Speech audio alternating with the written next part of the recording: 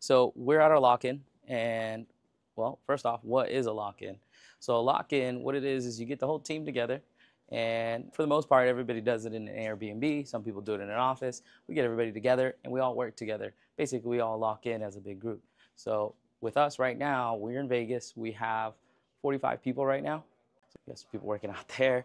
That's going in the house. So we got people working all over the place. Maybe see some people right over here, working all everywhere. And basically, what was good about doing a lock-in is that we're all here together. So if anybody needs help, nobody's left behind. You don't have to figure out if you're having any issues with clients or don't know what to pitch, don't know what to do. You got right now we have 45 people here to help you, and everybody's here together. A lot of us have never even seen each other in person, which is crazy. A lot of people we just met for the first time, but we got everybody together, and it's all about training. Okay, everybody's learning from each other. Everybody's getting better.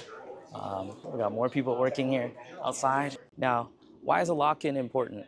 Now, when it comes to a lock-in, the reason why it's important is because everybody working together, collaboration, and you're surrounded by like-minded people who are trying to succeed in the business, right? And if you're surrounded by those type of people, what, what happens to you, right? They say you are uh, the average of the five people you surround yourself with, but imagine you surround yourself with 45 people all with the same goal in mind.